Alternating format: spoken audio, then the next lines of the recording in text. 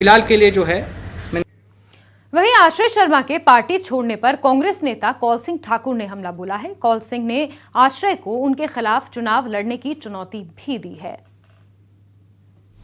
उस वक्त कांग्रेस पार्टी ने इन प्रिंसिपल डिसाइड किया था कि शायद मुझे मंडी का इलेक्शन लड़ना पड़ेगा। तो अच्छा हुआ मैंने कहा आश्रय शर्मा जी को टिकट मिल गया और आश्रय शर्मा के कारण अनिल शर्मा को जो है मंत्री का पद छोड़ना पड़ा।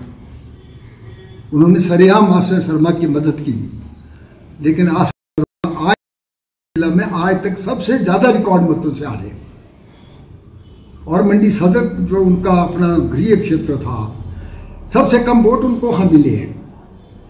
तो इसलिए ये तो मैं समझता हूँ, आया राम, गया राम। हमारे स्वर्गीय वीरभद्र सिंह कहते हैं कि ये परिवार आया राम, गया परिवार गया परिवार है। और यहाँ रुक रहे हैं एक छोटे से ब्रेक के लिए जल्द